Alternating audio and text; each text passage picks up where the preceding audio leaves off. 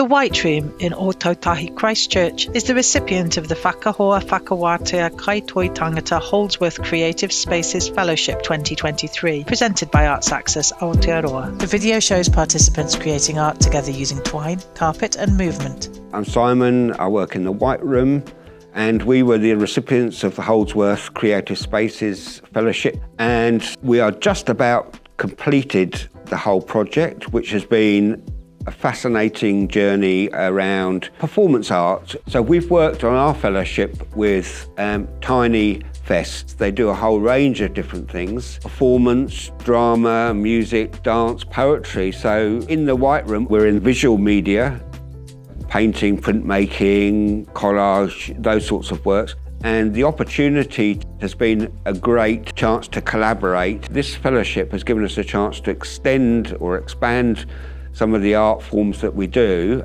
maybe we've stepped a little bit outside of our comfort zone and maybe even more so when we actually have to come to perform the piece, but that's part of it as well. So we've worked in very different ways about looking at how we can put together a performance.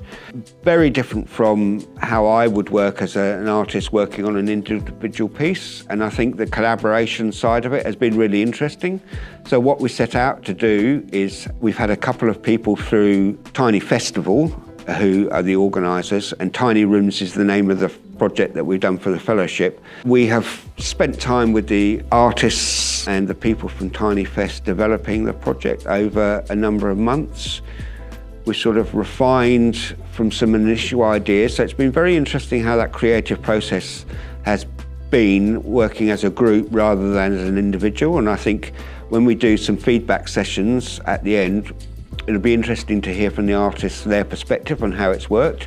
As far as we can tell, they've really enjoyed doing the activities and being part of it. Holdsworth Charitable Trust, with thanks to The White Space, filmmaker Danny Omua, audio described Aotearoa and platform interpreting NZ.